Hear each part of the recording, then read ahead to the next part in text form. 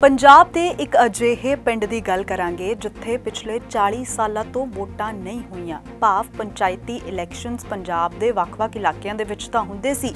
ਪਰ ਇਸ ਪਿੰਡ ਦੇ ਵਿੱਚ ਪਿਛਲੇ 40 ਸਾਲਾਂ ਤੋਂ ਕੋਈ ਵੀ ਪੰਚਾਇਤੀ ਇਲੈਕਸ਼ਨ ਨਹੀਂ ਕਰਾਈ ਗਈ। ਪਰ ਅਜਿਹਾ ਕੀ ਹੋਇਆ ਕਿ ਇਸ ਵਾਰ ਪਿੰਡ ਦੇ ਵਿੱਚ ਪੰਚਾਇਤੀ ਚੋਣਾਂ ਕਰਵਾਉਣੀਆਂ ਹੀ ਪੈ ਗਈਆਂ।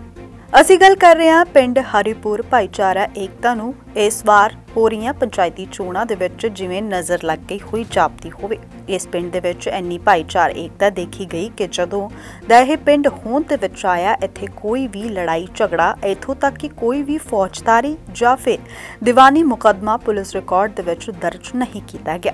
ਪਿੰਡ ਵਿੱਚ ਪਿਛਲੇ 40 ਸਾਲਾਂ ਦੇ ਵਿੱਚ ਕਦੇ ਵੀ ਪੰਚਾਇਤੀ ਚੋਣਾਂ ਲਈ ਵੋਟਾਂ ਨਹੀਂ ਪਈਆਂ, ਜਿਸ ਕਾਰਨ ਪਿੰਡ ਦੇ ਵਿੱਚ ਪਿਛਲੇ ਲਗਭਗ 40 ਸਾਲ ਤੋਂ ਵੱਧ ਹੋ ਗਿਆ ਕਿ ਇੱਥੇ ਵੋਟਾਂ ਹੀ ਨਹੀਂ ਹੋਈਆਂ। ਹੁਣ ਪਤਾ ਨਹੀਂ ਕਿਉਂ ਜਿਵੇਂ ਇਸ ਪਿੰਡ ਨੂੰ ਨਜ਼ਰ ਲੱਗ ਗਈ ਹੋਵੇ। ਇਸ ਪਿੰਡ ਦੇ ਵਿੱਚ ਪੂਰੇ 40 ਸਾਲ ਬਾਅਦ ਸਰਪੰਚੀ ਦੀ ਚੋਣਾਂ ਹੋ ਰਹੀਆਂ ਨੇ, ਜਦੋਂ ਕਿ ਇਸ ਵਾਰ ਵੀ ਪਿੰਡ ਦੇ 5 ਦੇ 5 ਪੰਚਾਂ ਨੂੰ ਪਿੰਡ ਵਾਸੀਆਂ ਵੱਲੋਂ ਸਰਬਸੰਮਤੀ ਨਾਲ ਚੁਣ ਲਿਆ ਗਿਆ ਕੁੱਲ 540 ਵੋਟਾਂ ਵਾਲੇ ਇਸ ਪਿੰਡ ਦੇ ਵਿੱਚ 40 ਸਾਲ ਲਗਾਤਾਰ ਸਰਬਸੰਮਤੀ ਨਾਲ ਚੁਣੀ ਪੰਚਾਇਤ ਕਾਰਜਸ਼ੀਲ ਰਹੀ। ਬਦਲੇ ਰਾਜਸੀ ਹਾਲਾਤਾਂ ਨੂੰ ਦੇਖਣ ਲਈ ਜਦੋਂ ਇਸ ਪਿੰਡ ਦਾ ਦੌਰਾ ਕੀਤਾ ਗਿਆ ਤਾਂ ਵੇਖਿਆ ਗਿਆ ਕਿ ਚੋਣ ਪ੍ਰਚਾਰ ਬੰਦ ਹੋ ਜਾਣ ਕਾਰਨ 100 ਦੇ ਕਰੀਬ ਔਰਤਾਂ ਦਾ ਗਰੁੱਪ ਆਪਣੇ ਉਮੀਦਵਾਰ ਲਈ ਘਰ-ਘਰ ਜਾ ਕੇ ਵੋਟਾਂ ਮੰਗ ਰਿਹਾ ਸੀ ਤੇ ਪਿੰਡ ਦੇ ਇੱਕ ਪਾਸੇ ਟੈਂਟ ਲਗਾ ਕੇ ਸਭ ਲਈ ਲੰਗਰ ਲਗਾਇਆ ਗਿਆ। ਪਿੰਡ ਦੇ ਸਾਰੇ ਵਸਨੀਕ ਜਿਸ ਤਰੀਕੇ ਨਾਲ ਲੰਗਰ ਛਕ ਰਹੇ ਸਨ ਤੇ ਇਹ ਜਾਪਦਾ ਹੀ ਨਹੀਂ ਸੀ ਕਿ ਪਿੰਡ ਦੇ ਵਿੱਚ ਵੋਟਾਂ ਪੈ ਰਹੀਆਂ ਨੇ। ਸਗੋਂ ਇਸ ਤਰ੍ਹਾਂ ਲੱਗਦਾ ਸੀ ਜਿਵੇਂ ਪਿੰਡ ਦੇ ਵਿੱਚ ਕੋਈ ਸਾਂਝਾ ਸਮਾਗਮ ਹੋ ਰਿਹਾ ਹੋਵੇ। ਪਿੰਡ ਦੇ ਪ੍ਰਵੇਸ਼ ਦੁਆਰ ਉੱਤੇ ਦੁਕਾਨਦਾਰ ਪਰਮਜੀਤ ਸਿੰਘ ਬਿੱਟੂ ਨਾਲ ਜਦੋਂ ਪਿੰਡ ਦੇ ਬਣੇ ਤਾਜ਼ਾ ਰਾਜਸੀ ਹਾਲਾਤਾਂ ਬਾਰੇ ਗੱਲ ਕੀਤੀ ਗਈ ਤਾਂ ਉਹਨਾਂ ਇਹ ਦੱਸਿਆ ਕਿ ਇਸ ਵਾਰ ਪੂਰਾ ਨਗਰ ਸਰਬਸੰਮਤੀ ਕਰਨ ਲਈ ਤਿਆਰ ਸੀ, ਪਰ ਇੱਕ ਉਮੀਦਵਾਰ ਤੇ ਲਗਭਗ ਸਹਿਮਤੀ ਵੀ ਬਣ ਚੁੱਕੀ ਸੀ। ਪਰੰਤੂ ਇੱਕ ਪਾਰਟੀ ਦੇ ਵੱਲੋਂ ਇੱਕ ਉਮੀਦਵਾਰ ਖੜਾ ਕਰ ਦਿੱਤਾ ਗਿਆ।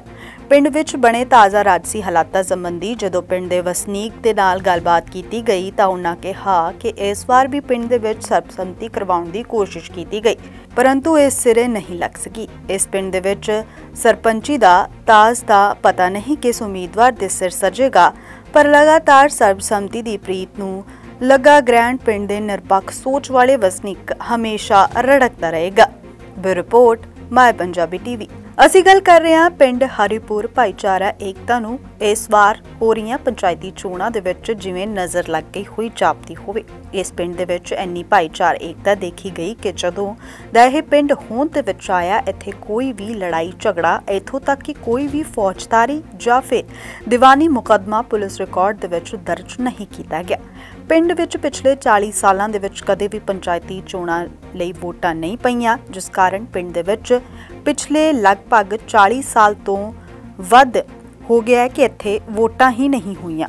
ਹੁਣ ਪਤਾ ਨਹੀਂ ਕਿਉਂ ਜਿਵੇਂ ਇਸ ਪਿੰਡ ਨੂੰ ਨਜ਼ਰ ਲੱਗ ਗਈ ਹੋਵੇ। ਇਸ ਪਿੰਡ ਦੇ ਵਿੱਚ ਪੂਰੇ 40 ਸਾਲ ਬਾਅਦ ਸਰਪੰਚੀ ਦੀ ਚੋਣਾਂ ਹੋ ਰਹੀਆਂ ਨੇ, ਜਦੋਂ ਕਿ ਇਸ ਵਾਰ ਵੀ ਪਿੰਡ ਦੇ 5 ਦੇ 5 ਪੰਚਾਂ ਨੂੰ ਪਿੰਡ ਵਾਸੀਆਂ ਵੱਲੋਂ ਸਰਬਸੰਮਤੀ ਨਾਲ ਚੁਣ ਲਿਆ ਗਿਆ ਕੁੱਲ 540 ਵੋਟਾਂ ਵਾਲੇ ਇਸ ਪਿੰਡ ਦੇ ਵਿੱਚ 40 ਸਾਲ ਲਗਾਤਾਰ ਸਰਬਸੰਮਤੀ ਨਾਲ ਚੁਣੀ ਪੰਚਾਇਤ ਕਾਰਜਸ਼ੀਲ ਰਹੀ। ਬਦਲੇ ਰਾਜਸੀ ਹਾਲਾਤਾਂ ਨੂੰ ਦੇਖਣ ਲਈ ਜਦੋਂ ਇਸ ਪਿੰਡ ਦਾ ਦੌਰਾ ਕੀਤਾ ਗਿਆ, ਤਾਂ ਵੇਖਿਆ ਗਿਆ ਕਿ ਚੋਣ ਪ੍ਰਚਾਰ ਬੰਦ ਹੋ ਜਾਣ ਕਾਰਨ 100 ਦੇ ਕਰੀਬ ਔਰਤਾਂ ਦਾ ਗਰੁੱਪ ਆਪਣੇ ਉਮੀਦਵਾਰ ਲਈ ਘਰ-ਘਰ ਜਾ ਕੇ ਵੋਟਾਂ ਮੰਗ ਰਿਹਾ ਸੀ ਤੇ ਪਿੰਡ ਦੇ ਇੱਕ ਪਾਸੇ ਟੈਂਟ ਲਗਾ ਕੇ ਸਭ ਲਈ ਲੰਗਰ ਲਗਾਇਆ ਗਿਆ।